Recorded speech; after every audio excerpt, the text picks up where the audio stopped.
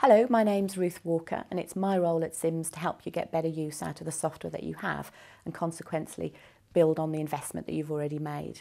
Today we're going to be taking a look at recording achievement from the register into the system from the classroom.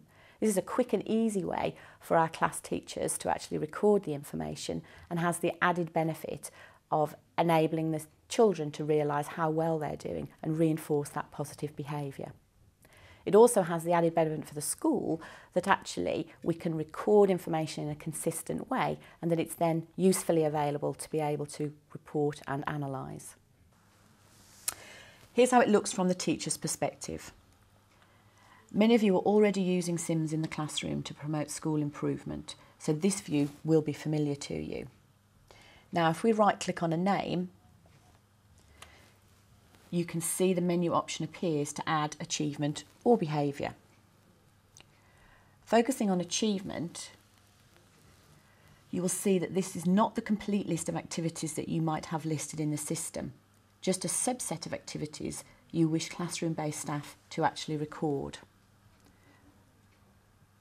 I'm going to make an act of friendship there for Tanzil, and that's now recorded into the register. This makes it faster and easier to log items that don't require further action or additional notes adding, which of course you can do later on.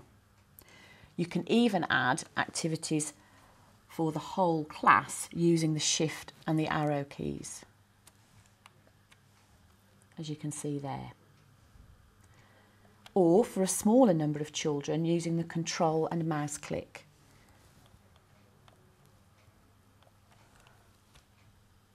And it works in the same way. Of course, the activity, now that we've added it into the system, is used across the system and available in a number of screens. So for example here, if we look at Tanzil's behaviour, you'll actually see that that act of friendship has been recorded into the system here. Also, back on the home page, it's available for us in our achievement panel under the calendar button, which gives us the activities for today. So there you can see Tanzil with the act of friendship. Clearly, if we've been adding behaviour incidents, our behaviour panel would also show those. It's also available, of course, for management reports, any of which you may have set up in the system. There is a small amount of setup which needs to be done, so let's take a look at that now.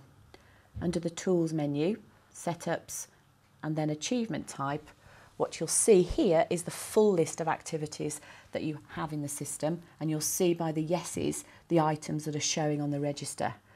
It's a simple toggle effect using this button which turns that on or turns that off from being visible on the register. It's as easy as that and those activities will now be available on the register to act incidents. So I hope you found that useful and uh, those of you who are using Sims in the classroom already will begin to use the achievement and behaviour area. It's a great way of getting the children involved uh, and hopefully behaving better and achieving more. Thank you.